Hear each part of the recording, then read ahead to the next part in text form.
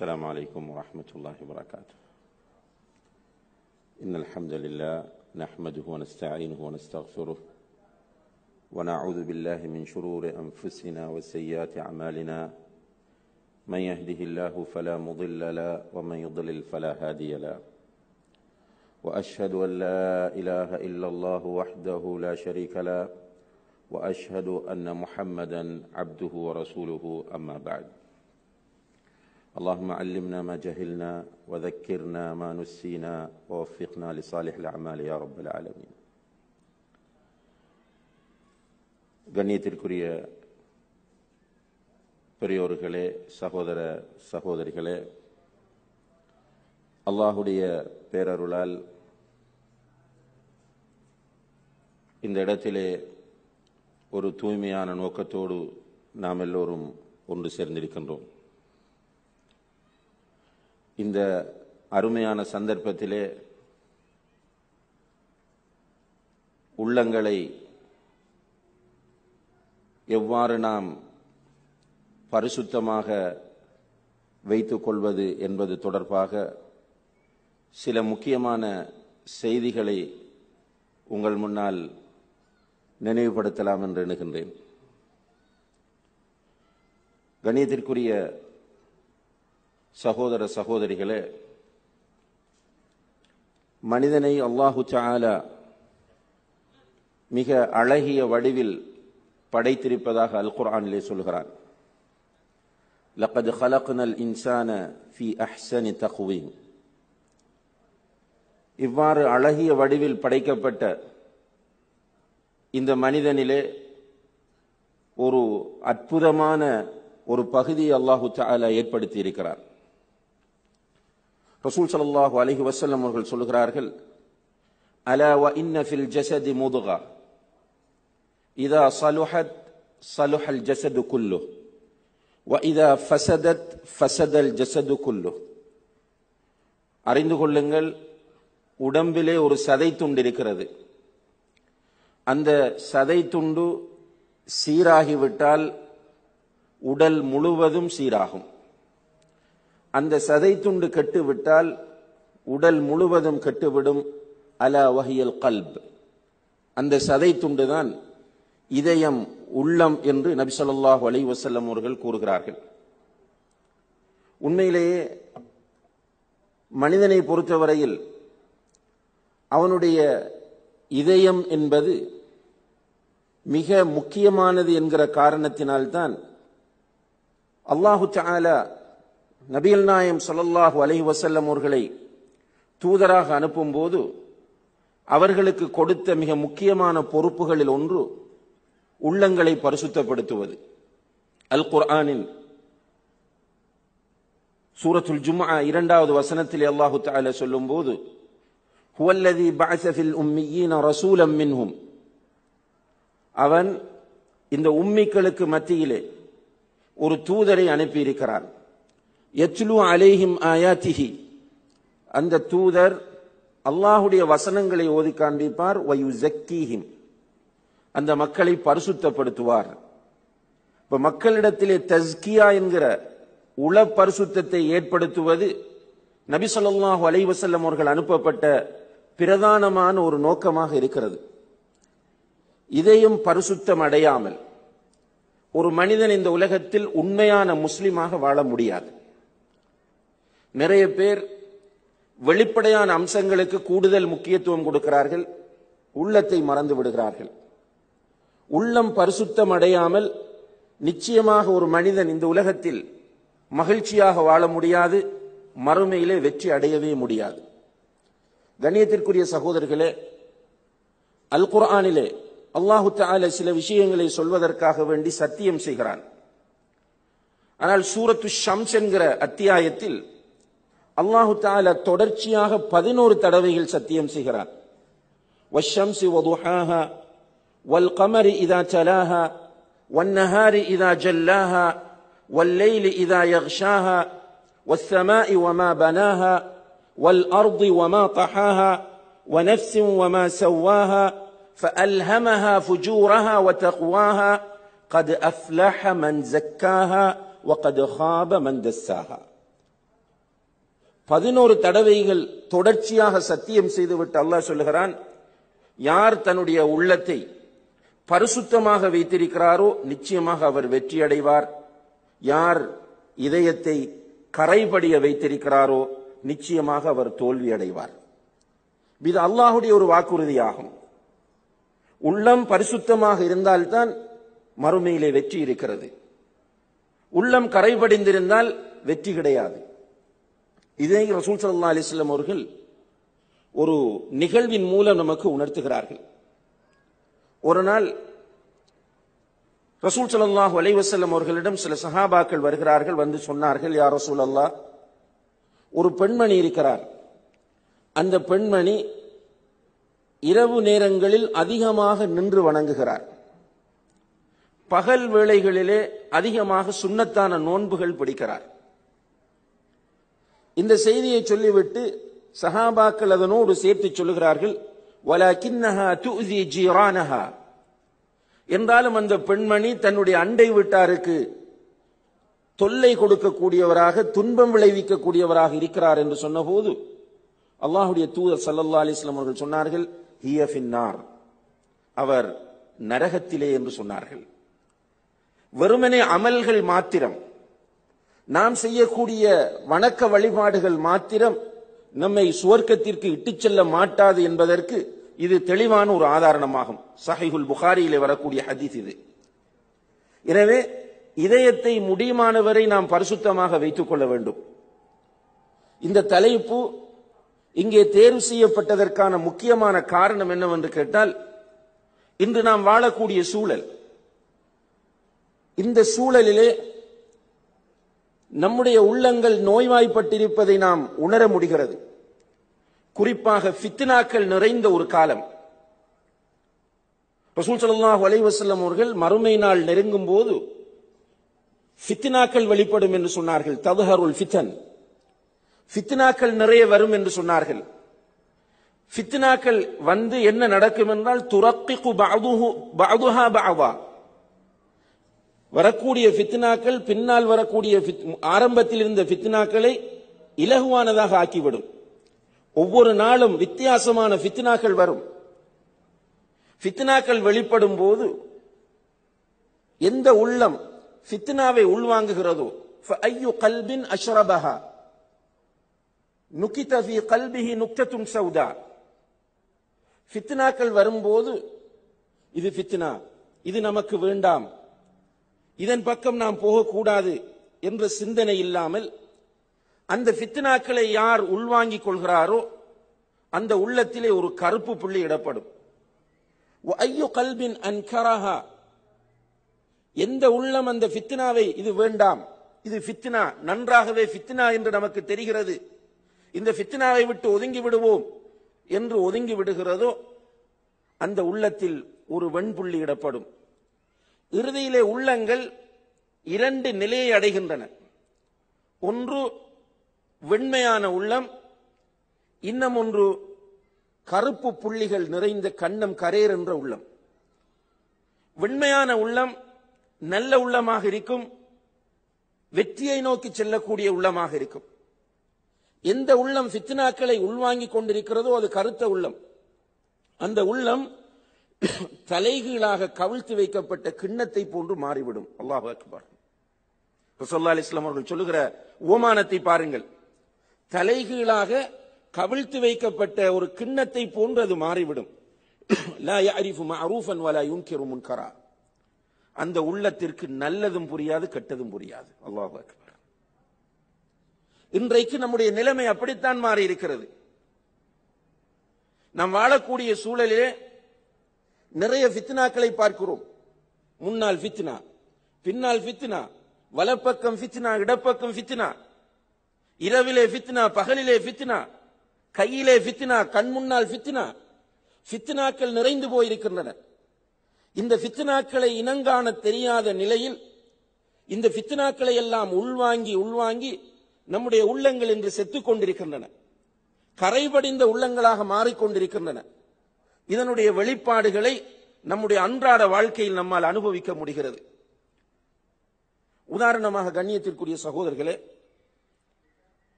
பரிசுத்தமான இதயத்தோடு இருக்கிற அந்த மனிதர்களை பற்றி அல் குர்ஆனும் ஹதீஸும் நமக்கு நிறைய சொல்லுகின்றன.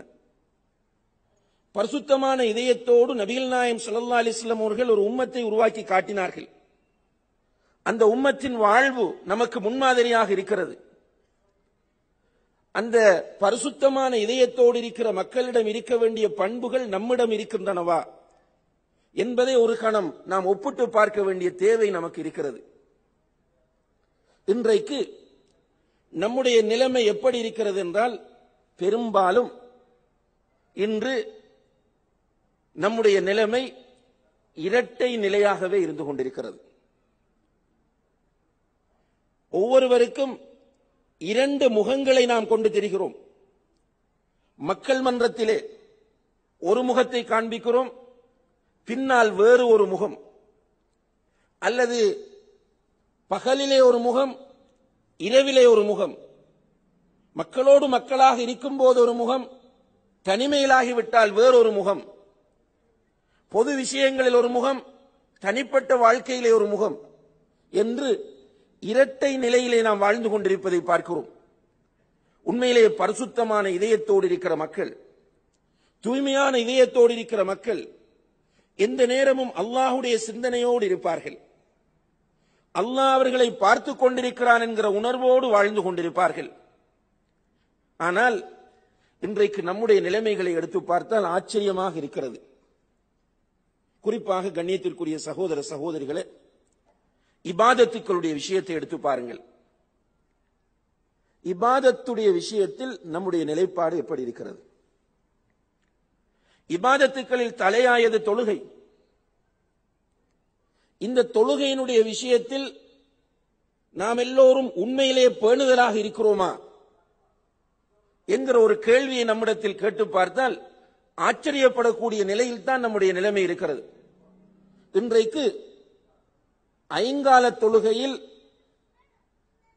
பெரும்பாலான முஸ்லிம்கள் பொடுபோக்காகவே இருந்து கொண்டிருக்கிறார்கள் யாரும் மறுக்க முடியாது. வெள்ளிக்கிழமைகளிலே நிறைந்து வழியக்கூடிய பள்ளிவாசல்கள் ஏனைய நாட்களிலே நம்முடைய ஊர்களிலே போய் பார்த்தால் இரண்டு மூன்று சஃபுகளோடு இருக்கிறது. ஃபஜ்ருடைய நேரத்திற்கு போய் பார்த்தால் பள்ளிக்குள்ளே ஒரு சஃப் அரை சஃப் ஒன்னரை சஃப் என்கிற நிலையிலேயே பள்ளிவாசல்கள் காணப்படுகின்றன. தொழுகையை விட்டுவிடுவது என்பது மிகப்பெரிய ஒரு பாவமாகும். சாதாரண பாவம் அல்ல. ஒரு மனிதர் வேண்டுமென்று தொழுகையை விட்டால் அவர் காபிராகி விடுகிறார். ஒரு மனிதர் வேண்டுமென்று தொழுகையை விட்டால் அவர் காபிராகி விடுகிறார்.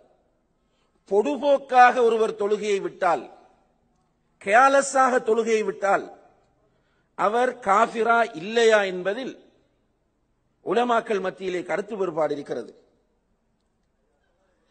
ஷேக் பிம்பாஸ் ரஹிமஹுல்லா ஷேக் ஹுசைமின் ரஹிமஹுல்லா போன்ற அறிஞர்கள் ஒரு மனிதன் பொடுபோக்காக தொழுகையை விட்டாலும் அவன் காவிராகி விடுகிறான் என்று சொல்கிறார்கள். இப்படி இருக்க நம்முடைய சமுதாயத்தில் நிறைய பேர் தொழுகையை விடுகிறார்கள். அதிலும் ஜமாத்து தொழுகை என்பது இன்றைக்கு பெரிய ஒரு மேற்றே கிடையாது.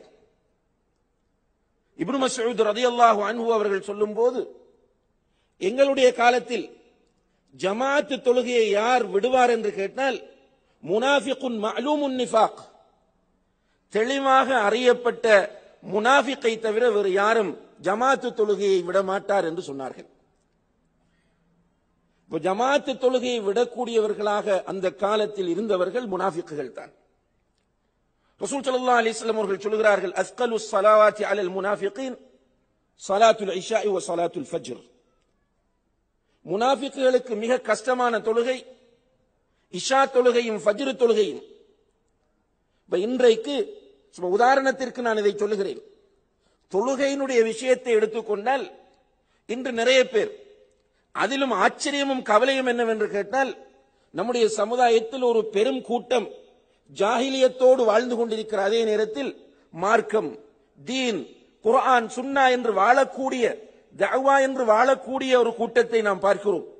அந்த கூட்டமும் தொழுகையுடைய விஷயத்திலே பொடுபோக்காக இருக்கிறது என்று சொன்னால் அதற்கு காரணம் இதயங்கள் நோய்வாய்ப்பட்டிருப்பதுதான். இதயம் பரிசுத்தமாக இருந்தால் தொழுகை தவறிப் போவது கஷ்டமாக இருக்கும். தொழுகையை ஜமாத்தோடு விடுவது என்பது சிரமமான ஒரு காரியமாக அவர்களுக்கு இருக்கும். சிம்பிளாக தொழுகையை விட முடிகிறது என்று சொன்னால் அதற்கு காரணம் நம்முடைய உள்ளங்கள் நோயோடு இருக்கின்றன என்பதுதான். அதே போன்று அன்புள்ள சகோதர சகோதரிகளே இன்னும் ஒரு பக்கம் பாவங்கள். பாவங்களுடைய விஷயங்களை நீங்கள் எடுத்து பார்த்தால் உண்மையிலேயே இதயம் பரிசுத்தமாக இருந்தவர்கள் பாவம் செய்துவிட்டால் துடித்து போனார்கள். தூக்கத்தை இழந்தார்கள். வேதனைப்பட்டார்கள். இப்னு மசூத் ரதியல்லாஹு அன்ஹு அவர்கள் சொல்கிறார்கள் ஒரு மூமின் பாவம் செய்துவிட்டால் அவனுடைய உணர்வுகள் எப்படி இருக்கும் என்று கேட்டால் உயரமான ஒரு இடத்திலே ஒரு பெரிய கல் வைக்கப்பட்டிருக்கிறது. அந்த கல் விழுந்தால் எந்த இடத்தில் விழுமோ அந்த இடத்தில் ஒரு மனிதன் நிறுத்தப்பட்டிருக்கிறான். இந்த மனிதனுடைய ஃபீலிங்ஸ் எப்படி இருக்கும்? கல்லு விழுந்தால் அவனுடைய தலையில் தான் விழும். கல்லு விழக்கூடிய நிலையில் இருக்கிறது. இந்த மனிதனுடைய மனோநிலை எப்படி இருக்கும்? இது போன்றுதான் ஒரு மூமின் பாவம் செய்து விட்டால் அவனுடைய மனோநிலை இருக்கும். ஆனால் ஒரு முனாஃபிக் பாவம் செய்து விட்டால் அவனுடைய மூக்கிலே ஒரு ஈ வந்து உட்கார்ந்து விட்டு செல்வதை போன்று இருக்கும் என்று சொன்னார்கள். புகாரியிலே வருகிறது. ஒரு ஈ மூக்கிலே வந்து உட்கார்ந்து விட்டு போவது போன்றுதான் ஒரு முனாஃபிக்கு பாவம் செய்வது இருக்கும் என்று சொன்னார்கள். கண்ணியத்திற்குரிய சகோதர சகோதரிகளை நாம் ஒவ்வொருவரும் நம்மிடத்திலே கேட்டு பார்க்க வேண்டும். பாவம் செய்வது எனக்கு எப்படி இருக்கிறது? பாவம் செய்துவிட்டு அந்த பாவத்தை நினைத்து வருத்தப்பட்டு வேதனைப்பட்டு கவலைப்படக்கூடிய மனோநிலை என்னிடம் இருக்கிறதா? அல்லது பாவத்தை கண்டும் காணாமல் போகக்கூடிய நிலை என்னிடம் இருக்கிறதா? ஒவ்வொருவரும் சிந்தித்து பார்க்க வேண்டும். உண்மையிலே இன்று நம்முடைய நிலைமையை பார்த்தால் பாவத்தை யாராவது சுட்டி காட்டினால் கூட ஏற்றுக்கொள்ள முடியாத ஒரு மனோநிலையோடு தான் நாம் இருந்து கொண்டிருக்கிறோம். யாராவது நம்மிடம் வந்து நீங்கள் செய்யக்கூடியது குர்ஆன் அடிப்படையில் ஹதீஸின் அடிப்படையில் பாவம். தவறு என்று சுட்டிக்காட்டினால் ஜிசாக் அல்லாஹு ஹைரா இதற்கு பிறகு நான் இதை விட்டு விடுகிறேன். எனக்காக துவா செய்யுங்கள் என்று சொல்கிறோமா அல்லது நம்முடைய தவறையும் பாவத்தையும் நியாயப்படுத்துவதற்கான முயற்சியிலே நாம் ஈடுபட்டுக் கொண்டிருக்கிறோமா? இப்னு அபி முலைகா ரஹிமஹுல்லா அவர்கள் ஒரு பெரிய தாபிஐ அவர்கள் சொல்லுகிறார்கள் அதரத்து சலாசீன மின் அஸ்ஹாபின் நபி சல்லல்லாஹு அலஹி வசல்லம் அவர் ஒரு தாபியை அவர் சொல்லுகிறார் நான் சஹாபாக்களில் முப்பது பேரை நேரடியாக சந்தித்தேன். குல்லுகும் கானு யஹாஃபூன் நிஃபாக். அவர்கள் எல்லோருமே தங்களிடம் நிஃபாக் இருக்குமோ என்று அஞ்சிக் கொண்டிருந்தார்கள். அல்லாஹு அக்பர். ஒவ்வொருவரும் அவரிடம் நிஃபாக் இருக்குமா நயவஞ்சகம் இருக்குமா என்று பயப்பட்டார்கள். அவர்களில் யாரும் தன்னை பற்றி சொல்லும் போது ஈமானி க ஈமானி ஜிப்ரீல் ஒமைகாயில் என்று சொல்லவில்லை.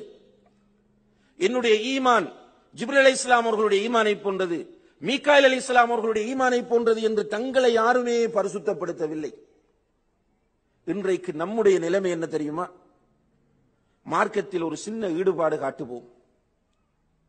கொஞ்சம் சுண்ணாவை பேணுவோம். சில ஹராம்களை விட்டுவிடுவோம். உடனே நமக்கு நினைவு வந்து நம்முடைய உணர்வு எப்படி வருகிறது என்றால் நான் தான் சுவர்க்கவாசி. நான் தான் பக்கா முஸ்லிம். என்னை தவிர வேறு யாருமே கிடையாது. ஒன்றில் வெளிப்படையாக பேசுகிறவர்கள் இருக்கிறார்கள். அல்ஹம்துலில்லா சொல்லுகிறார்கள்.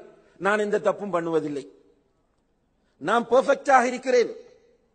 நான் ஒழுங்காக வாழ்ந்து கொண்டிருக்கிறேன் நான் யாருக்கும் அநியாயம் செய்ததும் இல்லை எந்த பாவம் செய்ததும் இல்லை. இப்படி நாவினால் சொல்லக்கூடியவர்கள் இருக்கிறார்கள். இன்னும் சிலர் அவர்களுடைய லிசானுல் ஹால். அவர்களுடைய நிலைமை சொல்லும். அவர்கள் வாயினால் சொல்ல மாட்டார்கள். ஆனால் எல்லோரையுமே அவர்கள் நரகவாசி ஆக்கிக் கொண்டே இருப்பார்கள். அவரா அவர் வழிகேடன் இவரா இவர் இப்படிப்பட்டவர். அவரா அவர் அப்படிப்பட்டவர். நீங்க யாரை போய் அவரிடம் கேளுங்கள்? கேட்டால் ஒரு அவருக்கு ஒரு சான்று கொடுத்து கொண்டே இருப்பார்.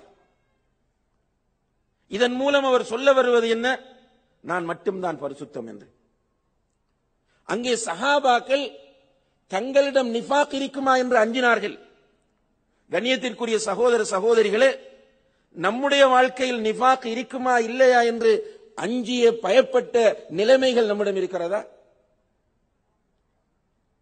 இந்த உம்மத்திலே மிகவும் உயர்ந்தவர். நபிகள் நாயம் சல்லா அலிஸ்லாம் அவர்களுக்கு அடுத்ததாக சிறந்தவர் அபூபக்கர் சித்திக் ரலியல்லாஹு அன்பு அவர்கள் ஒரு நாள் ஒரு வழியால் போய்க் கொண்டிருக்கிறார்கள். எதிரே ஹம்பலா ரலியல்லாஹு அன்பு அவர்கள் வருகிறார்கள். ஹம்பலாவை சந்தித்த அபூபக்கர் அலியல்லான் அவர்கள் சலாம் சொல்லிவிட்டு கைஃப கயா ஹம்பலா? என்று கேட்கிறார்கள். அதற்கு ஹம்பலா என்ன பதில் சொல்ல வேண்டும்? எப்படி இருக்கிறாய் என்று கேட்டால் நலமாக இருக்கிறேன் என்றுதான் சொல்ல வேண்டும். அல்லது சுகமில்லாமல் இருக்கிறேன் என்று சொல்ல வேண்டும். ஆனால் ஹம்பலா ரதியல்லான் அவர்கள் என்ன சொன்னார்கள் தெரியுமா? நாஃபக ஹம்பலா. அபுபக்கரே ஹம்பலாவாகிய நான் முனாஃபிக்காகி விட்டேன் என்று சொன்னார். அபூபக்கர் ரலியல்லாஹு ஆச்சரியமாகிவிட்டது ஆச்சரியமாகி விட்டது. ஏன் இப்படி இவர் சொல்லுகிறார் என்று கேட்கிறார்கள்? அதற்கு ஹம்பலா சொல்லுகிறார் யா அபுபக்கர். அபுபக்கரே நபிகள் நாயம் சுல்லா அலிஸ்லாம் அவர்களுடைய மஜ்லிஸில் இருக்கிறோம். சுவர்க்கத்தை பற்றி நரகத்தை பற்றி அவர்கள் பேசுகிறார்கள். பேசும்போது நேரடியாக கண்களால் பார்ப்பது போன்று ஒரு ஃபீலிங் வருகிறது. சுவர்க்கத்தையும் நரகத்தையும் நேரடியாக பார்ப்பது போன்று வருகிறது. வீட்டுக்கு வந்து பிள்ளை குட்டிகளோடு இருந்தால் அந்த ஆர்வம் அந்த உணர்வு அப்படியே போய்விடுகிறது. இது நிஃபாக்கான ஒரு நிலை அல்லவா என்று சொன்னபோது அபுபக்கர் அவர்கள் இப்படியெல்லாம் எதுக்கு சொல்றாய்? நாம தான் ரசோல்லா அலிஸ்லாம் அவருடைய தோழர்கள். நம்மை பற்றி அல்லாஹ் குர்ஆன் வசனமே இறக்கி இருக்கிறான் நாம் சிறந்தவர்கள். நாம் ஏன் கவலைப்பட வேண்டும் என்று அவர்கள் தங்களை பரிசுத்தப்படுத்தவில்லை. மாறாக இந்த உம்மத்தில் நபியல் நாயம் ஸல்லல்லாஹு அலிஸ்லாம் அவர்களுக்கு அடுத்ததாக சிறந்தவராக இருக்கிற அபூபக்கர் சித்திக் ரலியல்லாஹு சொல்கிறார்கள் ஹம்தலாவே எனக்கும் அப்படி ஒரு ஃபீலிங்ஸ் வருகிறது. வா இரண்டு பேரும் அல்லாஹுடைய தூதரிடத்தில் போய் கேட்போம் என்று இரண்டு பேரும் போகிறார்கள். அபுபக்கர் எல்லானவர்களுக்கு அடுத்ததாக இந்த உம்மத்தில் சிறந்தவர்கள் யார்? உமர் ஹத்தாப் ரதையல்லாஹு அன்பு உமர் ஹத்தாப் ரதையல்லானவர்கள் ரசூல் சல்லா அலைஹி ரகசிய தோழர் ஹுதைபா ரதையல்லானவர்களிடம் போய் கேட்கிறார்கள். ஹுதைபாவே அல்லாஹுடைய தூதர் உங்களிடம் முனாஃபிக்குகளுடைய பெயர் பட்டியலை தந்திருக்கிறார்கள். அந்த லிஸ்டில் என்னுடைய பேரும் இருக்கிறதா என்று பார்த்து சொல்லுங்கள் என்று கேட்டார்கள். நாம் எங்கே சகோதரர்களே? இன்றைக்கு நம்முடைய ஒவ்வொருவருடைய நடத்தை நம்மளுக்கு எவ்வளவுதான் இது சொல்லப்பட்டாலும் கூட புரிந்து கொள்ள முடியவில்லை. கொஞ்சம் கொஞ்ச நாளைக்கு தஹஜ தொழுது விட்டோமாக இருந்தால் கொஞ்ச நாளைக்கு சில சுண்ணத்துகளை ஹயாத்தாக்கி விட்டோமாக இருந்தால் சில ஹராம்களை விட்டு விடுவோமாக இருந்தால் உடனே நம்மை நாம் உயர்ந்தவர்களாக நினைத்து விடுகிறோம். இது உள்ளம் நோயோடு இருக்கிறது என்பதற்கான அறிகுறியாகும். இப்படி தங்களை தாங்களே பரிசுத்தப்படுத்துகிறவர்கள் யூதர்கள். அல்லாஹ் குர்ஆனிலே கேட்கிறான் அலம் தர இலல்லதீன யுஸக்கூன அன்ஃபுஸஹும்? தங்களை தாங்களே சுத்தப்படுத்துகிறவரை நபியை நீங்கள் பார்க்கவில்லையா என்று அல்லாஹ் கேட்கிறான். யூதர்கள் தான் நஹ்னு அப்னாஉல்லாஹி வ அஹிப்பாஉஹ் நாங்கள் அல்லாஹ்வுடைய பிள்ளைகள் அல்லாஹுடைய நேசர்கள் என்று தங்களை பரிசுத்தப்படுத்திக் கொண்டிருந்தார்கள். எனவே அல்லாஹ் சொல்லுகிறான் தங்களை தாங்களே பரிசுத்தப்படுத்தக்கூடிய கூட்டத்தில் நீங்கள் இருக்கக்கூடாது. வலா துஸக்கு அன்ஃபுஸக்கும். உங்களை நீங்கள் பரிசுத்தப்படுத்தாதீர்கள். ஹுவ அலமு இத்தகா. உங்களில் யாருடைய உள்ளத்தில் தக்குவா இருக்கிறது என்பது அவனுக்கு தெரியும் என்று அல்லாஹு தாலா குர்ஆனிலே சொல்லி காட்டுகிறான். இன்றைக்கு நாம் நம்மை பரிசுத்தப்படுத்திக் கொண்டிருப்பது என்பது கண்ணியத்திற்குரிய சகோதர சகோதரிகளே நம்முடைய உள்ளம் நோயோடு இருக்கிறது என்பதற்கான அடையாளமாகும். உண்மையிலேயே நம்முடைய உள்ளங்கள் நோய்வாய்ப்பட்டு நிறைய உள்ளங்கள் இறந்து விட்டன அல்லது இறக்கக்கூடிய மரணிக்கக்கூடிய தருவாயில் இருக்கின்றன. அதனால்தான் நமக்கு அல்லாஹுடைய வல்லமைகள் சொல்லப்படும் போது அல்லாஹுடைய கலாம் ஓதி காண்பிக்கப்படும் போது மறுமையை பற்றி பேசும்போது நரகத்தை பற்றி பேசும்போது நமக்கு எந்த விதமான ஃபீலிங்ஸும் கிடையாது. ரசூல் சல்லாஹூ அலை வசல்லம் அவர்கள் மறுமையிலே அல்லாஹுடைய அரிசின் கீழ் நிழல் பெறக்கூடிய ஏழு கூட்டத்தாரை சொல்லும் போது ரஜுலுன் தக்கர் அல்லாஹ் ஹாலியன் ஃபஃபாதத் ஐனா. தனிமையில இருந்து அல்லாஹுவை நினைத்து கண்ணீர் சிந்திய மனிதன் என்று சொல்கிறார்கள். ஏழு பேரில் ஒருவர் ரஜுலுன் ஜக்கரல்லாஹ ஹாலியன் தனிமையில் இருக்கும் போது அல்லாஹுவை நினைவு கூறுகிறான். அப்படி நினைவு கூறும் போது அவனுடைய இரண்டு கண்களும் நிறைந்து வழிகின்றன கண்ணீரால். கண்ணியத்திற்குரிய சகோதர சகோதரிகளே என்னிடமும் உங்களிடமும் கேட்கிறேன். இப்படியான சந்தர்ப்பம் நம்முடைய வாழ்க்கையில் ஏற்பட்டிருக்கிறதா? அல்லாஹுடைய வல்லமைகளை நினைத்து அல்லாஹுடைய நியமத்துகளை எண்ணி அல்லாஹுவை விக்கிரி செய்வதன் மூலம் நம்முடைய உள்ளங்கள் அழுது கண்ணீர் கண்- கண்கள் கண்ணீர் சிந்தி இருக்கின்றனவா? குர்ஆன் ஓதும் போது அல்லாஹுடைய தூதர் சல்லல்லாஹு அலை வசல்லம் அவர்கள் அழுவார்கள். சஹாபா பெருமக்கள் அழுவார்கள். நமக்கு குர்ஆன் ஓதும் போது எப்போது அழுகை வந்தது? குர்ஆன் ஓதுவதை கேட்கும் போது எங்கே நாம் அழுதிருக்கிறோம்? குர்ஆன் ஓதுவதே நமக்கு கஷ்டமான ஒரு விஷயம் இன்றைக்கு. கடந்த ரமலானிலே குர்ஆனை ஓதி முடித்த பலரிடம் நான் கேட்டு பார்த்தேன். ரமலானுக்கு பிறகு எத்தனை தடவைகள் நீங்கள் குர்ஆனை ஓதி முடித்தீர்கள் என்று? அப்படி ஒன்றும் இல்லை சேகன்னு சொல்றாங்க. இனி அடுத்த ரமலான் வர வேண்டும் குர்ஆன் ஓதுவதற்கு இப்ப நிறைய வாட்ஸ்அப்ல பேஸ்புக்ல எல்லாம் ஷேர் பண்றாங்க. எந்த நேரமும் போனை ஆன் பண்ணி நெட்டை ஆன் பண்ணி ஃபேஸ்புக் வாட்ஸ்அப் பார்த்துட்டே இருக்கிறோம். ஆனால் ஒரு நாளைக்கு எத்தனை தடவை குர்ஆனை பார்க்கிறோம்? கஷ்டமாக இருக்கிறது. ஏன் கஷ்டமாக இருக்கிறது தெரியுமா? உஸ்மான் ரதியல்லாஹு அல்லாஹன் அவர்கள் சொன்னார்கள் லவ் தஹரத் குலூபுக்கும் ஷபிஅத்தும் மின் கலாமி ரப்பிக்கும். உங்களுடைய உள்ளங்கள் பரிசுத்தமாக இருந்தால் உங்களுடைய ரப்பினுடைய கலாம் உங்களுக்கு தவிட்டாது என்று சொன்னார்கள். போர் அடிக்காது. குர்ஆன் போர் அடிக்கிறது. குர்ஆன் ஓதுவது கஷ்டமாக இருக்கிறது. குர்ஆன் ஓத விருப்பமில்லை. குர்ஆனோடு தொடர்புபடுத்துவது தொடர்பை ஏற்படுத்துவது சிரமமாக இருக்கிறது என்றால் அது நம்முடைய உள்ளம் நோய்வாய்ப்பட்டிருக்கிறது என்பதற்குரிய ஒரு அறிகுறியாகும்.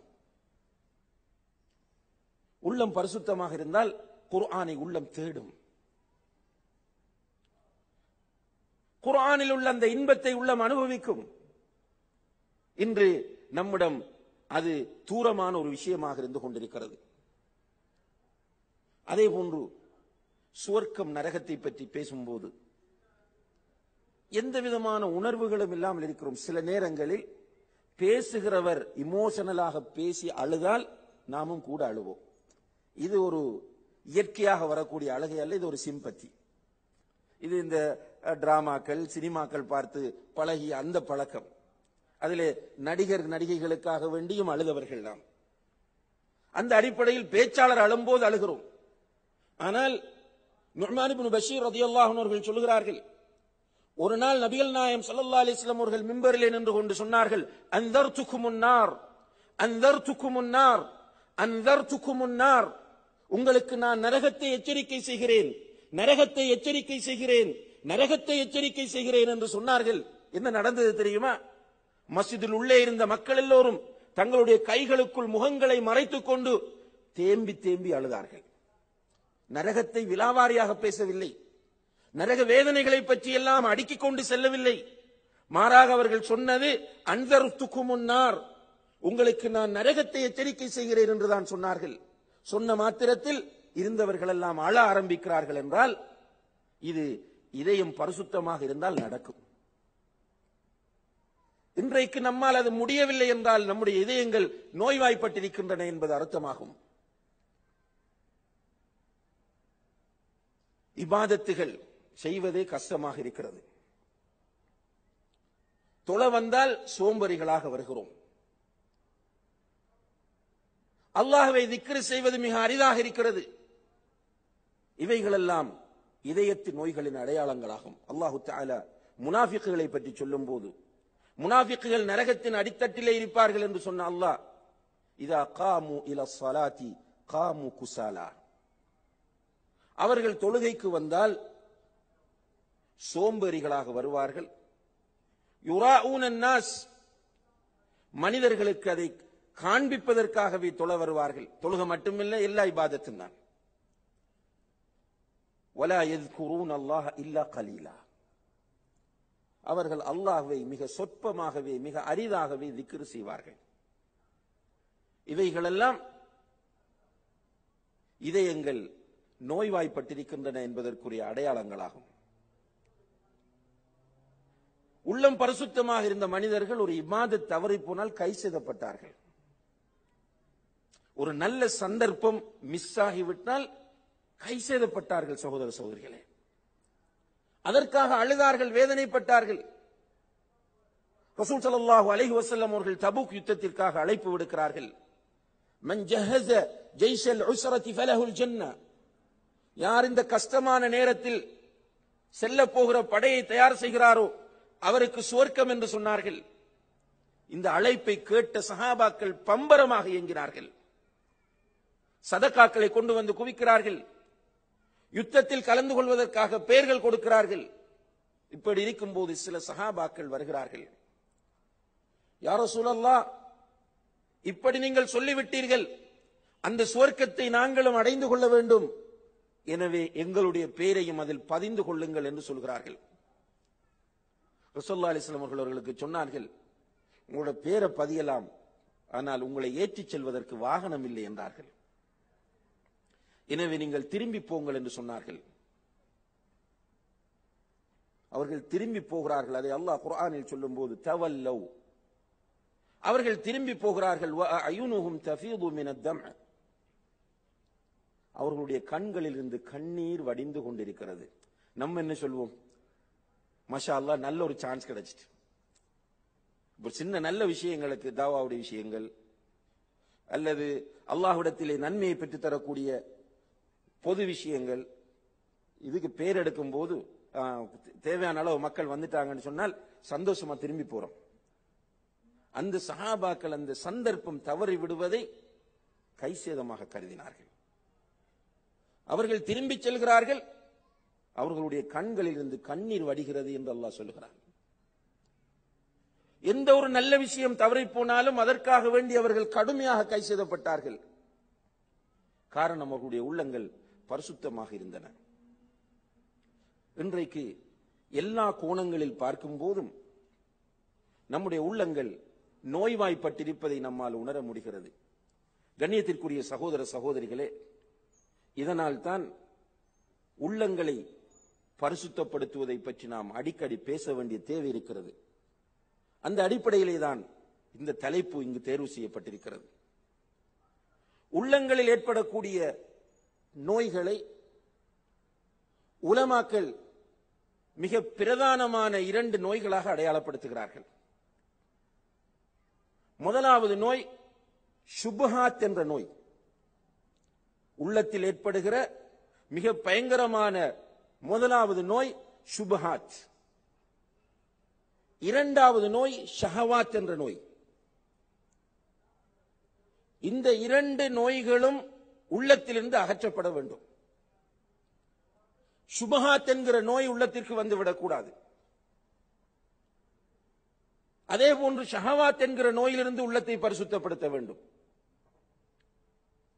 சுபஹாத் என்று சொன்னால் சந்தேகங்கள் என்பது அதனுடைய அர்த்தமாகும். உள்ளத்திற்கு வரக்கூடாத மிக மோசமான நோய் சந்தேகம். இந்த சந்தேகம் என்று நான் இங்கே சொல்லும் போது நிறைய பேர் உடனடியாக கணவனுக்கு மனைவி மீது சந்தேகம் வருவது மனைவிக்கு கணவன் மீது சந்தேகம் வருவது நண்பர்கள் நண்பர்கள் மீது சந்தேகப்படுவது என்று கருதுவார்கள். அதுவல்ல இங்கு சொல்லப்படுகிற சந்தேகம். இங்கு சொல்லப்படுகிற சந்தேகம் இஸ்லாமிய அக்கீதாவில் ஏற்படக்கூடிய சந்தேகமாகும். அல்லாஹு தால சூரத்துல் பக்ராவினுடைய ஆரம்ப பகுதியில் முனாஃபிக்குகளை பற்றி சொல்லுகிறான். முனாஃபிக்குகள் அவர்கள் மூமின்களுடன் வந்தால் காலு இன்னா மாக்கும் நாங்கள் உங்களோடு இருக்கிறோம் என்று சொல்வார்கள். காபிர்களோடு போய்விட்டால் உங்களோடு இருக்கிறோம் என்று அவர்களிடம் சொல்லுவார்கள். மாறி மாறி போய் கொண்டிருப்பார்கள். அல்லாஹ் சொல்லுகிறான் அவர்களுடைய உள்ளங்களில் நோய் இருக்கின்றன என்று சொல்லுகிறான். அப்ப முனாஃபிக்குகளுடைய உள்ளத்தில் இருக்கிற நோய் என்ன? எந்த வகையான நோய்? அவர்களுடைய உள்ளத்தில் இருந்த நோய் சந்தேகம் என்கிற நோய். என்ன சந்தேகம்? நபிகள் நாயம் சல்லா அலைஹி வஸல்லம் அவர்கள் கொண்டு வந்து அவர்களுக்கு காட்டிய கொள்கையில் அவர்களுக்கு சந்தேகம் இருந்தது. இந்த சந்தேகம் இந்த உள்ளத்தில் இருக்கிறதோ அந்த உள்ளம் அழிந்த உள்ளம் அந்த உள்ளம் தோல்வி அடைந்த உள்ளம். அதனால் தான் அல்லாஹ் சொல்லுகிறான் ஃபீ குலூபிஹிம் மரதுன் ஃபஸாதஹுமுல்லாஹு மரதா. அவர்களுடைய உள்ளங்களில் நோய் இருக்கிறது இன்னும் அல்லாஹ் நோயை அதிகப்படுத்துகிறான். உள்ளத்தில் இருக்கிற அந்த சந்தேகம் என்ற நோய் அகற்றப்பட வேண்டுமாக இருந்தால் நம்முடைய அக்கீதாவை நாம் சீர்படுத்த வேண்டிய தேவை இருக்கிறது. அகீதா சீராகாமல் நம்முடைய கொள்கை சீராகாமல் கண்ணியத்திற்குரிய சகோதர சகோதரிகளே உள்ளம் சீராகாது. அதனால்தான் ஈமானுக்கு வரைவிலக்கணம் சொல்லும் போது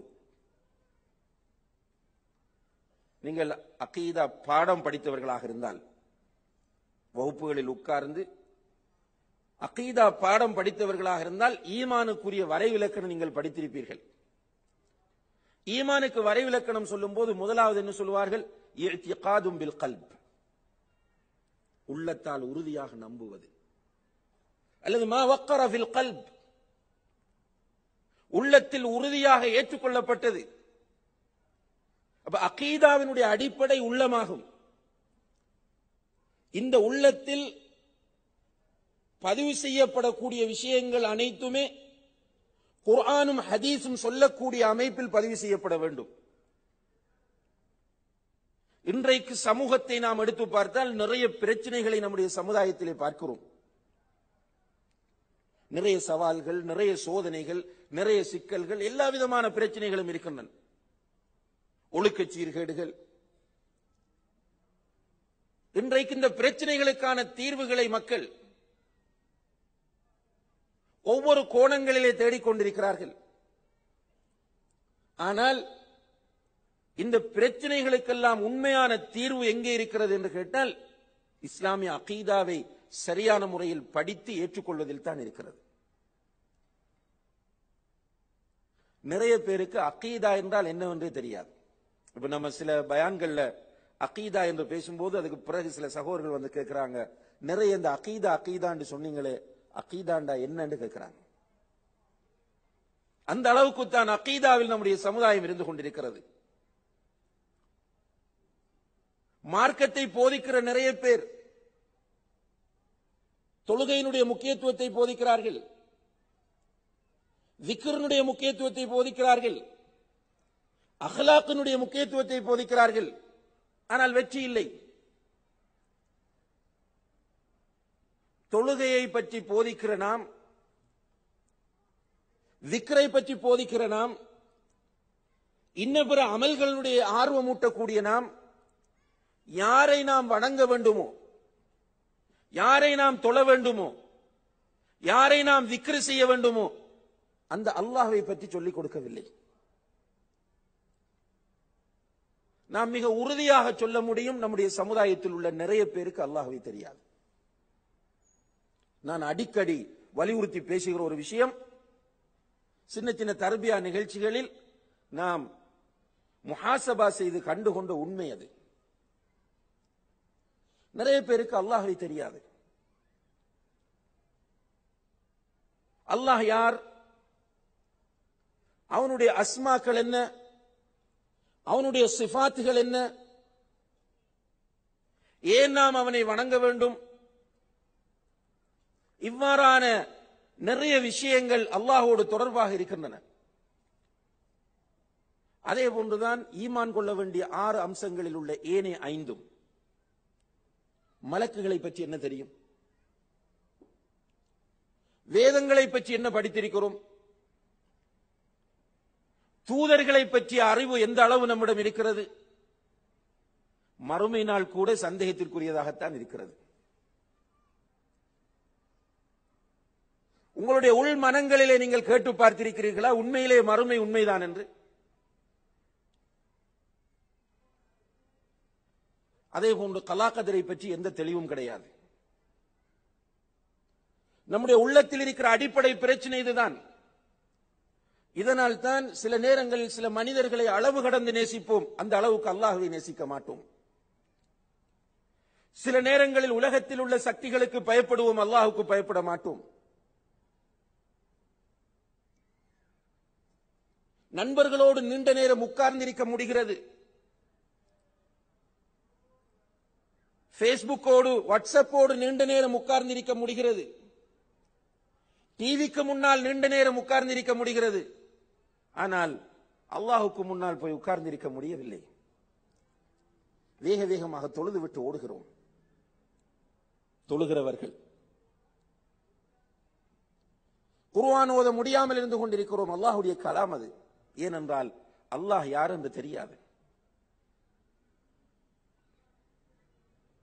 நம்மோடு மலக்குகள் இருக்கிறார்கள். நாம் பேசக்கூடியவைகளை எழுதுகிறார்கள். நாம் செய்யக்கூடிய ஒவ்வொன்றையும் அவர்கள் பதிவு செய்கிறார்கள். இந்த விஷயங்களை உறுதியாக நம்பக்கூடிய ஒருவர் ஒரு காலமும் தனிமையில் இருக்க மாட்டார்.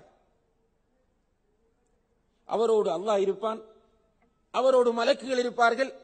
எனவே பப்ளிக்லே மக்களோடு இருக்கும் போது ஒரு தவறை செய்வதற்கு அவர் வெட்கப்படுகிறார் என்றால் தனிமையில் இருக்கும் போதும் வெட்கப்படுவார். ஏனென்றால் கூட மக்களோடு இருக்கும் போது அவருடைய நண்பரும் மரணிக்கக்கூடிய மனிதனும் பாவம் செய்யக்கூடிய மனிதனும் தான் இருந்தான். ஆனால் தனிமையில் இருக்கும் போது அவனுடைய உணர்வு என்னோடு அல்லாஹ் இருக்கிறான். என்னோடு மலக்குகள் இருக்கிறார்கள் என்ற உணர்வை ஏற்படுத்தும். மறுமை பற்றிய நம்பிக்கை உள்ள ஒரு மனிதன் ஒவ்வொரு செகண்டும் என்னுடைய மறுமை எப்போது வந்துவிடும் என்று அந்த ஆவலிலேயே இருந்து கொண்டிருப்பான். நான் சுவர்க்கம் போக வேண்டும் என்பதுதான் அவனுடைய லட்சியமாக இருக்கும். நரகத்திலிருந்து தன்னை பாதுகாத்துக் கொள்வதற்கான எல்லா வழிகளையும் அவன் தேடிக்கொண்டிருப்பான் சுவர்க்கத்தை அடைந்து கொள்வதற்காக வேண்டி எதை துறக்க வேண்டி வந்தாலும் துறப்பதற்கு அவன் தயாராக இருப்பான். என்ன தியாகம் வேண்டும் என்றாலும் செய்வான். ஏன் அவனிடம் மிக பெருமதியானதாக இருப்பது அவனுடைய உயிர்? அந்த உயிரையும் சுவர்க்கத்திற்காக வேண்டி அவன் கொடுப்பதற்கு தயாராகி விடுவான். சுவர்க்கம் உண்மை என்று நம்பினால். பிரச்சனை என்னவென்று கேட்டால் எல்லாமே நமக்கு ஒரு பரம்பரையான அறிவை தவிர நாம் படித்து பெற்றுக் கொண்டதை அல்ல. இப்ப உள்ளத்தில் இருக்கிற நோயை அகற்ற வேண்டும் என்றால் அதாவது சுபஹாத் என்று சொல்லக்கூடிய இந்த நோய் போக வேண்டும் என்று யாரெல்லாம் விரும்புகிறார்களோ அவர்கள் இஸ்லாமிய அகீதாவை படிக்க வேண்டும். இப்ப இது இஸ்லாமிய அகீதாவை தெளிவுபடுத்துகிற ஒரு வகுப்பு கிடையாது. இது நம்முடைய உள்ளங்களை பரிசுத்தமாக வைப்பதற்குரிய வழிகள் என்ன என்பதை சுட்டிக்காட்டுகிற ஒரு நிகழ்ச்சி. நமக்கு புரிய வேண்டும். எனக்கு உண்மையிலே அல்லாஹ்வை பற்றி பயம் வரவில்லை என்பது எனக்கு புரியும். ஒவ்வொருவருக்கும் புரிய வேண்டும். அல்லாஹ் என்னை பார்த்து கொண்டிருக்கிறான் என்ற ஃபீலிங் ஒரு சிசிடிவி கேமராவை பார்க்கிற போது வருகிற அளவுக்கு கூட எனக்கு வரவில்லை. வாகனம் ஓட்டும் போது வீதிகளிலே வைக்கப்பட்டிருக்கிற அந்த கேமராக்களுக்கு வருகிற பயம் அல்லாஹுடைய விஷயத்தில் எனக்கு வரவில்லை என்பது ஒவ்வொருவருக்கும் புரியும். என்னுடைய பிள்ளைகளை என்னுடைய மனைவியை என்னுடைய கணவனை என்னுடைய பெற்றோரை பணத்தை தொழிலை நேசிக்கிற அளவுக்கு கூட நான் அல்லாஹவை இன்னும் நேசிக்க ஆரம்பிக்கவில்லை என்பது நம் ஒவ்வொருவருக்கும் புரியும். அப்படி புரிகிறவர்கள் தங்களுடைய உள்ளங்களிலே இந்த சுபஹா என்கிற நோய் இருக்கிறது என்பதையும் சேர்த்து புரிந்து கொள்ள வேண்டும். இந்த உள்ளத்தில் இருக்கிற சுபஹா என்கிற நோய் போக வேண்டும் என்றால் இஸ்லாமிய அகீதாவை கட்டாயம் படித்தே ஆக வேண்டும். அதிலும் குறிப்பாக அல்லாஹுவை பற்றி படிக்காமல் அறியாமல் ஒரு மனிதன் இந்த உலகத்திலிருந்து போவானாக இருந்தால் அவனை விட நஷ்டவாள் இந்த உலகத்தில் யாருமே இருக்க முடியாது. ஒவ்வொரு மனிதனும் கட்டாயம் அறிந்து கொள்வது கடமையாக இருந்து கொண்டிருக்கிறது. அல்லாஹுவை பற்றி. குரானிலே சுமார் முப்பதிற்கும் அதிகமான இடங்களிலே அல்லாஹ் அவனை பற்றி அறிய வேண்டும் என்பதை வலியுறுத்துகிறான். சூரா முஹம்மது என்ற அத்தியாயத்தில் பத்தொன்பதாவது வசனத்தில் அல்லாஹ் சொல்லும்போது போது நிச்சயமாக அல்லாஹ்வை தவிர வணக்கத்திற்கு தகுதியானவன் வேறு யாரும் இல்லை என்பதை நீ அறிந்து கொள். தம்பிக் வலில் முஃமினீன். அதுக்கு பிறகு உன்னுடைய பாவத்திற்காக நீ பாவ மன்னிப்பு தேடு. மூமின்களுக்காகவும் பாவ மன்னிப்பு தேடு. இமாம் புகாரி ரஹிமஹுல்லா அவர்கள் தன்னுடைய சஹீகுல் புகாரியிலே கிதாபுல் இல்ம் என்ற ஒரு பாடத்தை கொண்டு வந்து அதிலே ஒரு உப பாடமாக பாபுன் அல் இல்மு கபில் அல் கவுலி வல் அமல் சொல்வதற்கும் செய்வதற்கும் முன்னால் அதாவது பயான் பண்றதுக்கும் தாவா செய்வதற்கும் செயற்படுத்துவதற்கு முன்னால் இல்ம் அவசியம் என்று சொல்லி இந்த குர்ஆன் வசனத்தை கொண்டு வருகிறார்கள். என்னுடைய அர்த்தம் என்ன? முதலில் அல்லாஹுவை அறிவது கடமையாகும். அன்புள்ள சகோதர சகோதரிகளே உங்கள்கிட்டயே நீங்க கேட்டு பாருங்க. அல்லாஹுவை பற்றி எனக்கு என்ன தெரியும்? அல்லாஹுடைய அஸ்மாக்களை பற்றி எனக்கு என்ன தெரியும்? அல்லாஹுடைய சிஃபாத்துகளை பற்றி எனக்கு என்ன தெரியும் என்று யோசித்து பாருங்கள். என்ன படித்திருக்கிறோம் என்று சிந்தித்து பாருங்கள். அப்போது நம்முடைய உள்ளத்தில் உள்ள பிரச்சனை நமக்கு புரியும். அல்லாஹுவை பற்றி அதே போன்று ஈமான் கொள்ள வேண்டிய ஏனைய அம்சங்களை பற்றி அறிவதுதான் அகீதாவாகும். இந்த அகீதாவை நீங்கள் நினைத்தபடி கற்றுக்கொள்ள முயற்சி செய்யக்கூடாது. மாறாக அகீதாவை சரியாக அறிந்து கொண்ட உலமாக்களிடம் இந்த அகீதாவை நீங்கள் படிக்க வேண்டும் என்பது மிக முக்கியமான ஒரு தகவலாகும். அகீதாவை படிக்க வேண்டும் அதை உலமாக்களிடத்திலே படிக்க வேண்டும் என்பது மிக முக்கியமான ஒரு விஷயமாகும். அப்ப உள்ளத்தில் ஏற்படக்கூடிய இந்த சுபஹா என்ற நோய் போக வேண்டும் என்றால் அகீதா சரியான முறையில் நம்மிடம் வர வேண்டும். அடுத்த நோய் தான் ஷஹவாத் என்கிற நோய். ஷஹவாத் என்று சொன்னால் இச்சைகள் ஆசைகள் என்பது அதனுடைய அர்த்தமாகும். ஒரு மூமினுடைய உள்ளம் இச்சைகள் ஆசைகளிலிருந்து தூய்மைப்பட்டிருக்க வேண்டும். وأما من خاف مقام ربه ونهى النفس عن الهوى فإن الجنة هي المأوى الله قرآن சொல்லுகிறான் وأما من خاف مقام ربه தன்னுடைய ரப்புக்கு முன்னால் நிற்க வேண்டும் என்பதை யார் பயந்து தன்னுடைய ரப்புக்கு முன்னால் நிற்க வேண்டும் என்பதை யார் பயந்து வனஹன் நப்ச அனில் ஹவா தன்னுடைய நப்சை உள்ளத்தை ஹவாவை விட்டும் தடுத்துக் கொண்டால் ஜன்னத் ஹியல் அவர் ஒதுங்குமிடம் சுவர்க்கம்தான் என்று அல்லாஹ் குரானில் சொல்கிறான். கண்ணியத்திற்குரியவர்களே நம்முடைய இந்த வாழ்க்கையின் லட்சியம் என்ன டார்கெட் என்ன? இந்த உலகத்தில் நாம் எவ்வளவு காலம் வாழப் போகிறோம்? நம்மிடத்தில் நிறைய பணம் இருக்கலாம் நிறைய படிப்பு இருக்கலாம் நிறைய செல்வாக்கு இருக்கலாம் நிறைய அதிகாரம் இருக்கலாம். எது எப்படி இருந்தாலும் எவ்வளவு காலம் இந்த உலகத்தில் வாழப்போகிறோம் என்கிற ஒரு கேள்வி நம் முன்னால் இருக்கிறது. கொஞ்ச காலம் தான் வாழப் போகிறோம்.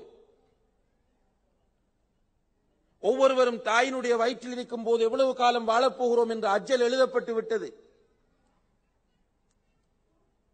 ரசூல் சல்லா அலிஸ்லாம் அவர்களுடைய உம்மத்தினரை பொறுத்தவரையில் அவர்களுடைய ஆயுள் மிக குறைந்தது. ரசூல்லா அலிஸ்லாம் அவர்கள் சொல்கிறார்கள் அமாரு உம்மத்தி மா பைன 60 வ 70 என்னுடைய உம்மத்தின் வயது அறுபதற்கும் எழுபதற்கும் இடைப்பட்டது என்று சொன்னார்கள். மேக்சிமம் இந்த உலகத்தில் வாழ்ந்தால் அறுபது எழுபது வருடங்கள் வாழப்போகிறோம். இன்றைக்கு அறுபது எழுபது என்பது மிக சொற்பமான காலம். அதுவும் மறுமை நாள் நெருங்கிவிட்ட ஒரு காலப்பகுதியிலே நாம் வாழ்ந்து கொண்டிருக்கிறோம். மறுமை நாள் நெருங்கும் போது எத்தகாரபு ஜமான்? காலம் சுருங்கும். தக்கூனு க ஷஹர் ஒரு வருடம் ஒரு மாதம் போன்றிருக்கும். வயக்கூனு ஷஹரு கல் ஜுமா ஒரு மாதம் ஒரு வாரம் போன்றிருக்கும். வதகூனுல் ஜுமா துக்கல் யோம். ஒரு வாரம் ஒரு நாள் போன்றிருக்கும் என்று அல்லாஹ்வுடைய தூதர் சல்லல்லாஹு அலைவாஸ்லம் அவர்கள் சொன்ன ஒரு காலத்திலே நாம் எல்லோரும் வாழ்ந்து கொண்டிருக்கிறோம். காலம் வேகமாக போய்க் கொண்டிருக்கிறது. மேக்சிமம் வாழ்ந்தாலும் அறுபது எழுபது வருடங்கள் வாழப் போகிறோம். இதற்கு பிறகு வாழுகிற வாழ்க்கை தான் உண்மையான வாழ்க்கை. கபருடைய வாழ்க்கை எவ்வளவு காலம் என்பது அல்லாஹு அலம். மஷர்லே ஐம்பதாயிரம் வருடங்கள் நிற்க வேண்டும். அதற்கு பிறகு சுவர்க்கம் நரகம். எனவே இந்த உலகத்தில் புத்திசாலி யார் என்றால் அல் கையிசு மந்தான நப்சஹு அமில லிமா பஅதல் மவுத். உண்மையான புத்திசாலி தன்னிடம் கேள்வி கேட்டு தன்னை சுயபரிசோதனை செய்து மௌத்துக்கு பிறகுள்ள வாழ்க்கைக்காக வேண்டி அமல் செய்பவன் என்று அல்லாஹுடைய தூதர் சல்லல்லா அலிஸ்லாம் அவர்கள் சொன்னார்கள். அன்புள்ள சகோதர சகோதரிகளே நம்முடைய லட்சியம் சுவர்க்கம் என்றால் மரணத்திற்கு பிறகு வெற்றி பெறுவது என்றால் நம்முடைய உள்ளத்தை ஹவாவை விட்டும் தடுத்துக் கொள்வது கட்டாய கடமையாக இருந்து கொண்டிருக்கிறது وأما من خاف مقام ربه ونهى النفس عن الهوى فإن الجنة هي المأوى உள்ளத்தை ஹவாவை விட்டு தடுப்பது ஷஹவாத்துகளை விட்டு தடுப்பது நம்முடைய உள்ளத்தில் இந்த உலகத்தின் மீது மோகம் வந்து விடக்கூடாது உலகத்தை தேடுவதை இஸ்லாம் தடை செய்யவில்லை குர்ஆனில் அல்லாஹ் ஆர்வப்படுத்துகிறான் فإذا قضيت الصلاة فانتشروا في الأرض وابتغوا من فضل الله தொழுகை முடிந்து விட்டால் அல்லாஹுடைய பூமியிலே பறந்து சென்று அல்லாஹுடைய ஃபதுலை தேடுங்கள் என்று அல்லாஹ் குர்ஆனில் ஆர்வப்படுத்துகிறான் பொருளாதாரத்தை தேட வேண்டும் வசதியோடு இருப்பதை அல்லாஹ் குற்றமாக சொல்லவில்லை பொருளாதார வசதி நிறைந்திருப்பதை இஸ்லாம் குறையாக கூறவும் இல்லை ஆனால் பொருளாதாரத்திற்கு நாம் அடிமையாகி விடுவதைத்தான் இஸ்லாம் நமக்கு வன்மையாக கண்டிக்கிறது. ரசூல் ஸல்லல்லாஹு அலஹி வஸல்லம் அவர்கள் சொன்னார்கள் தஐஸ அப்துத் தீனார் தஐஸ அப்துத் திர்ஹம் தீனாருக்கு அடிமைப்பட்டவன் அழிந்து விட்டான். திர்ஹமுக்கு அடிமைப்பட்டவன் அழிந்து விட்டான் என்று நபி சொல்லாஹு அலை வசலம் அவர்கள் சொல்லி காட்டினார்கள். எனவே தீனார் திர்ஹம் இவற்றை தேடுவதை இஸ்லாம் தடை செய்யவில்லை. அது நம்மை ஆட்சி செய்யக்கூடாது. இன்றைக்கு நம்முடைய உள்ளத்தை முழுக்க நாம் தீனாருக்கும் திருகத்திற்கும் கொடுத்து விட்டோம். உலகம் நம்மை ஆட்சி செய்ய ஆரம்பித்து விட்டது. உலகத்திற்கு ஏற்ப நம்மை மாற்றிக்கொள்கிறோமே தவிர மார்க்கத்திற்கு ஏற்ப நம்மை நாம் நம்மை மாற்றவில்லை. உள்ளம் எப்போதும் பாவங்களை எவக்கூடியது? சூரா யூசுஃபிலே அல்லாஹு தஆலா சொல்லுகிறான் وإن النفس لأمارة بالسوء நப்ஸ் தீமையை பாவத்தை அதிகமாக தூண்டக்கூடியதாக இருக்கிறது என்று அல்லாஹ் குர்ஆனில் சொல்லுகிறான் இப்ப உள்ளத்தினுடைய இயல்பு இது பாவத்தை தூண்டுவது தீமையை தூண்டுவது என்பது உள்ளத்தினுடைய ஒரு இயல்பு ஆனால் நமக்கு புரிய வேண்டும் இது பாவம். இது தீமை. இது அல்லாஹுக்கு பிடிக்காது. இந்த நிலையிலிருந்து மௌத்தானால் எனக்கு அழிவு என்று நாம் புரிந்து கொண்டு அதிலிருந்து விடுபட வேண்டும். இதற்காக வேண்டி நாம் அல்லாஹோடு நிறைய தொடர்பை ஏற்படுத்த வேண்டும். ஷஹவாத் என்கிற நோயிலிருந்து நம்மை நாம் விடுவிக்க வேண்டுமாக இருந்தால் அல்லாஹோடு நம்முடைய தொடர்பை அதிகரிக்க வேண்டும். அல்லாஹு தாலா சொல்வதாக நபிகள் நாயம் சொல்லல்லா அலிஸ்லாம் அவர்கள் ஒரு ஹதீஸில் குதிசியிலே சொல்கிறார்கள். ஒரு அடியான் நான் கடமையாக்கியவைகளை செய்யும் போது அவனை நான் விரும்ப ஆரம்பிக்கிறேன். அல்லாஹு தாலா கடமையாக்கியவைகளை நாம் சரியான முறையிலே நிறைவேற்ற வேண்டும். அதே போன்று ஒரு அடியான் நஃபிலான வணக்கங்களை செய்யும் போது அவன் என்னை நெருங்குகிறான் அல்லது நான் அவனை நெருங்குகிறேன். ஃபர்தான சுண்ணத்தான வணக்கங்களை அதிகமாக செய்யும் போது நம்முடைய உள்ளங்கள் பரிசுத்தம் அடையும் அதுல பிரதானமானது தொழுகை.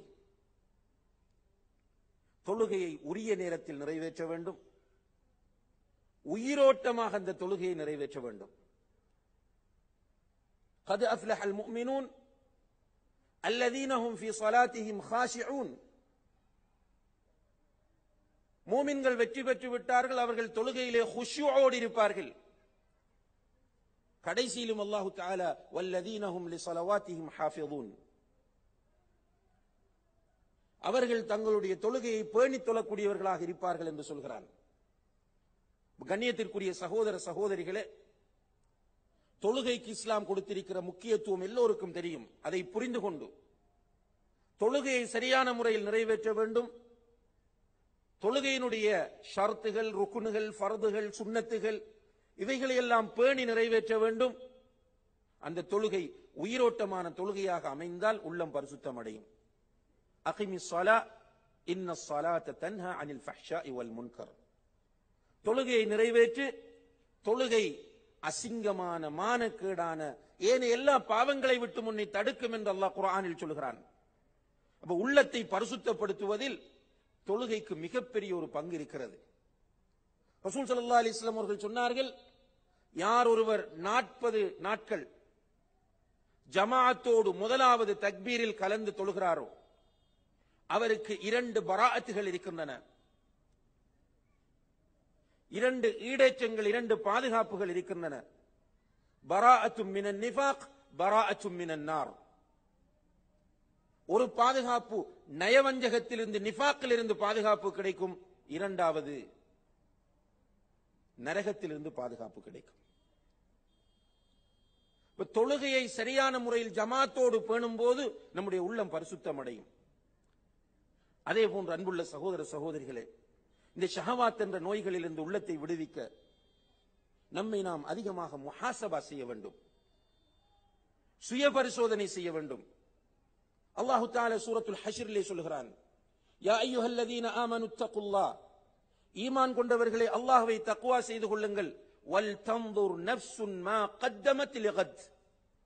ஒவ்வொரு ஆத்மாவும் நாளை மறுமைக்காக அது என்ன தேடி இருக்கிறது என்பதை அது பார்த்துக் கொள்ளட்டும். நான் என்னிடம் கேட்க வேண்டும். நைட் தூங்கும் போது தனிமையில உட்காரும் போது தொழுது விட்டு இருக்கும் போது என்னிடத்திலே நான் கேட்க வேண்டும் நான் நாளை மறுமைக்காக என்ன தேடி வைத்திருக்கிறேன்? அப்ப உள்ளத்தில் ஃபீலிங் வரும். கவலை வரும். சஹாபாக்கள் அவ்வளவு அமல்களை செய்துவிட்டு நன்மையிலே போட்டி போட்டு விட்டு ஒன்றும் செய்யவில்லை என்பது போன்றவர்களுடைய உணர்வு இருந்தது என்றால் நான் நன்மையே செய்யாமல் இருக்கிறேன் என்றால் என்னுடைய நிலை என்ன என்று உள்ளம் சொல்லும்.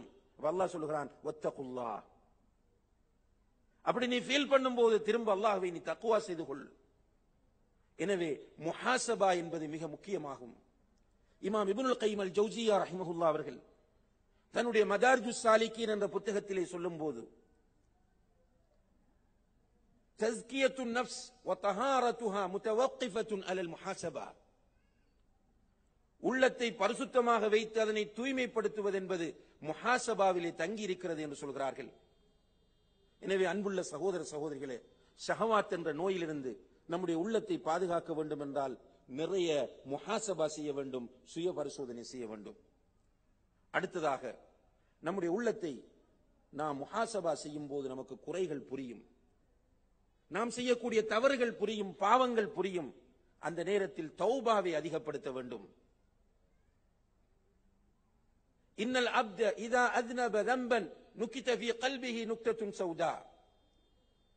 ஒரு அடியான் ஒரு பாவத்தை செய்து விட்டால் அவனுடைய உள்ளத்தில் ஒரு கருப்பு புள்ளி இடப்படுகிறது.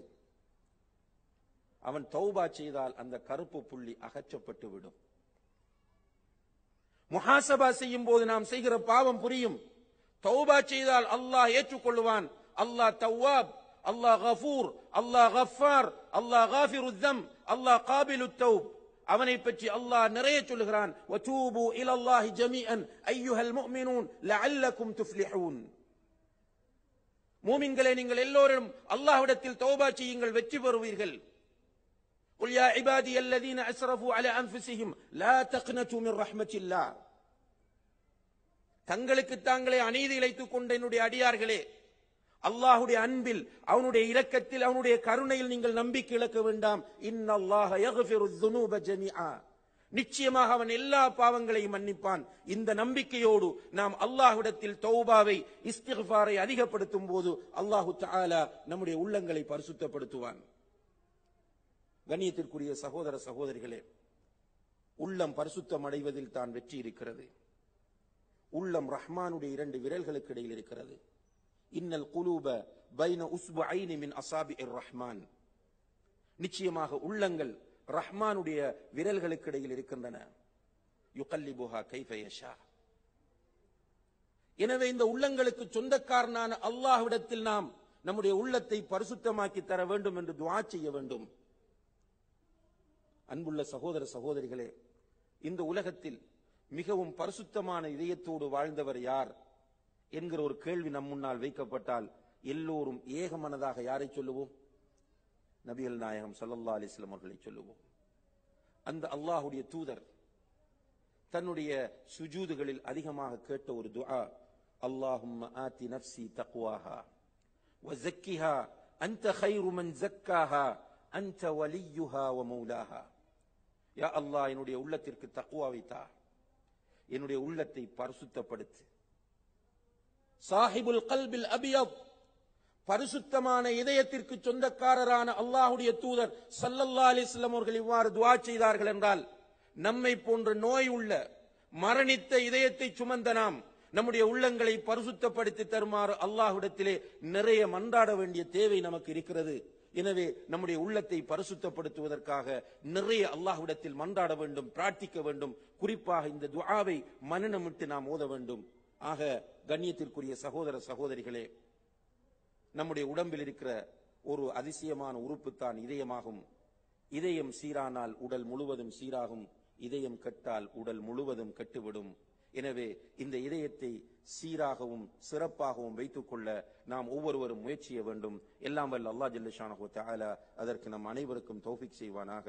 வ ஆஹிரு தஅவானா அனில் ஹம்துலில்லாஹி ரப்பில் ஆலமீன். வஸ்ஸலாமு அலைக்கும் வ ரஹ்மத்துல்லாஹி வ பரகாத்துஹு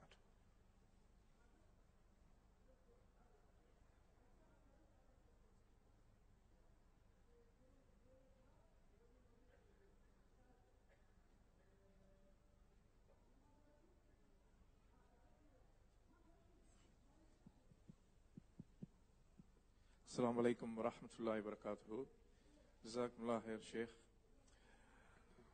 Zayed bin Muhammad family gathering நிகழ்வுக்கு எங்களுடைய அழைப்பை ஏற்று பல சிரமத்துக்கு மத்தியில் uh, வருகை தந்த உங்கள் அனைவரையும் விழா நிகழ்ச்சி நடத்துனர் சார்பாக uh, மிக்க நன்றியை தெரிவித்துக் கொள்கின்றோம். இந்த நிகழ்ச்சியுடைய தொடர்ச்சியாக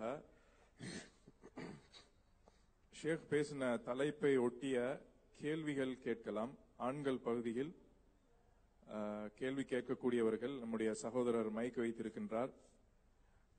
நிகழ்ச்சி தொடர்பாக ஏன்னா டைம் இல்லாதனால கொஞ்சம் முன்னாடி வந்து நிகழ்ச்சி தொடர்பாக இந்த தலைப்புடைய சம்பந்தப்பட்ட கேள்விகள் வந்து யாரும் கேட்கிறதா இருந்தா கேட்கலாம். அதே மாதிரி பெண்கள் பகுதியில் உள்ளவங்களுக்கும் மைக் வரும்.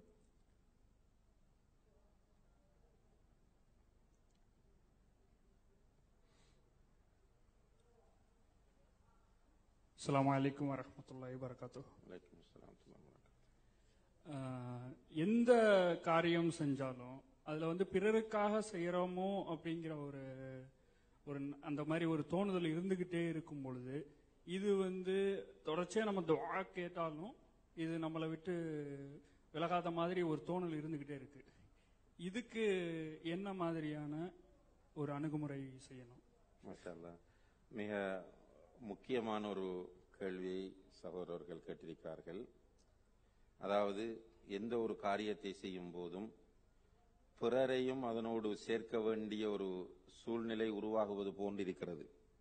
அதாவது ரியா என்ற முகஸ்துதி அங்கே வரக்கூடிய ஒரு சூழ்நிலை ஏற்படுகிறது. இதை தவிர்ப்பதற்கு என்ன வழி என்று கேட்கிறார்கள்? முதலாவதாக நாம் தெரிந்து கொள்ள வேண்டும் நம்முடைய அமல்களை அல்லாஹு தாலா ஏற்றுக்கொள்வதாக இருந்தால் இஹ்லாஸ் இருந்தால் மாத்திரம்தான் ஏற்றுக்கொள்வான். அதோடு சேர்த்து நபி சொல்லா அலைஹி அவர்களுடைய வழிகாட்டல். இஹ்லாஸ் என்பது அல்லாஹ் ஒருவனுடைய திருப்தியை மாத்திரம் நாடி நாம் அந்த வணக்கத்தை செய்வது. அல்லாஹுக்காக செய்ய வேண்டிய ஒரு வணக்கத்தை அல்லாஹுக்காக செய்கிற அதே நேரத்தில் மனிதர்களுடைய பாராட்டுதலை அல்லது அவர்கள் நம்மை வாழ்த்த வேண்டும் என்று உள்ளத்தில் ஏற்படக்கூடிய உணர்வுக்குத்தான் ரியா என்று சொல்லப்படும். ரசூல் ஸல்லல்லாஹு அலைவசல்லம் அவர்கள் சொன்னார்கள் இன்ன அஹ்வஃபமா அஹாஃபு அலைக்கும் அஷ்ருக்குல் அஸ்கர். உங்களுடைய விஷயத்தில் நான் அதிகமாக பயப்படுவது சிறிய இணை வைத்தலைத்தான் என்றார்கள். இப்ப சஹாபாக்கள் அது என்ன என்று கேட்டபோது அர் ரியா என்று சொன்னார்கள்.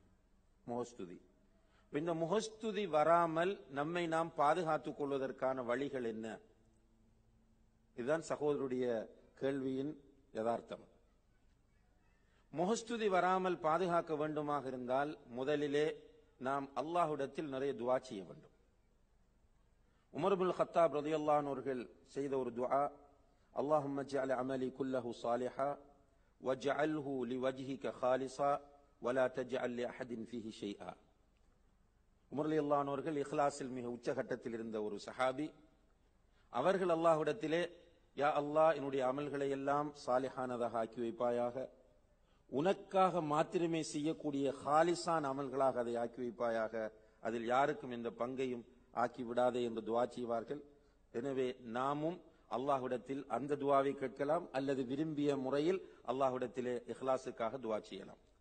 இரண்டாவதாக நாம் யாருடைய பாராட்டுதலை பெற விரும்புகிறோமோ அவர்களால் நமக்கு ஒன்றும் செய்ய முடியாது என்பதை நாம் புரிந்து கொள்ள வேண்டும். நம்முடைய மனசுக்கு நம்ம சொல்லணும் இவங்க பாராட்டி என்ன ஆக போகுது? இந்த உலகத்தில் மனிதனுடைய நிலை என்னவென்று கேட்டால் மனிதன் திருப்தி அடைய மாட்டான். காயத்துன் நாசி அஹ், இந்த நாசி காயத்துன் மனிதர்களை திருப்திப்படுத்துவது என்பது அடைய முடியாத ஒரு முயற்சி. நீங்க பொதுவாக பார்த்திருப்பீங்க கொஞ்ச நாளைக்கு நம்மை பாராட்டுகிறவர்கள் அவர்களுடைய நாவினாலேயே நம்மை திட்ட ஆரம்பிப்பார்கள். இதுதான் மனிதனுடைய இயல்பு. எனவே இப்படிப்பட்ட மனிதனுடைய பாராட்டுதல் நமக்கு எதற்கு என்று நம்முடைய ஆழ் மனதிற்கு நாம் அடிக்கடி சொல்ல வேண்டும். நமக்கு நிறைவான கூலி அல்லாஹ்விடத்தில் வர வேண்டும். நம்ம கஷ்டப்பட்டு செய்யக்கூடிய இந்த அமல் இந்த மொஸ்துதியினால் வீணாகிவிடக் கூடாது என்ற பயம் நமக்கு வர வேண்டும். இவ்வாறு சில பயிற்சிகளை தொடர்ச்சியாக நாம் செய்து வந்தால் அல்லாஹுடைய உதவியால் இந்த ரியா என்ற நோயிலிருந்து விடுபடலாம். அல்லாஹு தாலா ஆலம்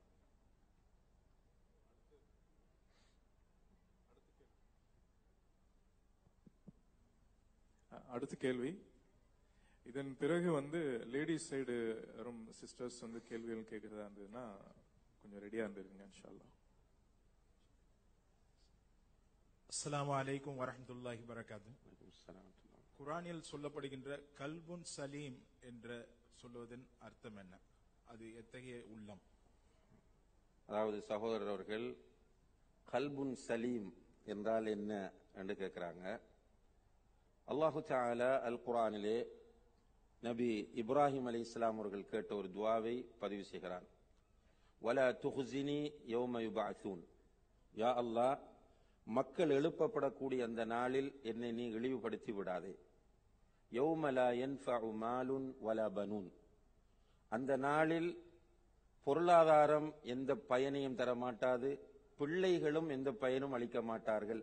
இல்லாமன் அத்தல்லாஹ பி கல்பின் சலீம். யார் கல்ப் சலீமோடு வருகிறாரோ அவரை தவிர என்று அல்லாஹு தாலா சொல்கிறார் இந்த மறுமையில் வெற்றி பெறக்கூடிய இதயம் சலீமான இதயமாக இருக்க வேண்டும். இப்ப கல்புன் சலீம் என்று சொன்னால் சாந்தமான தூய்மையான பரிசுத்தமான இதயம் என்பது அதனுடைய அர்த்தமாகும். சுருக்கிலிருந்து சந்தேகங்களிலிருந்து பிதியாத்துகளிலிருந்து ஷஹவாத்துகளிலிருந்து நீங்கிய இதயத்தை தான் கல்புன் சலீம் என்று சொல்லப்படும். அந்த உள்ளத்தில் சிறுக்கு இருக்க மாட்டாது தௌஹீத் இருக்கும். அந்த உள்ளத்தில் பிதியத் இருக்க மாட்டாது சுண்ணத் இருக்கும் அந்த உள்ளத்தில் ஷஹவாத் இருக்க மாட்டாது அந்த உள்ளம் தக்குவாவால் நிறைந்த உள்ளமாக இருக்கும். அவ்வாறு இருக்கக்கூடிய உள்ளம்தான் கல்புன் சலீம் என்று சொல்லப்படும். ஒல்லாஹு சால ஆலம்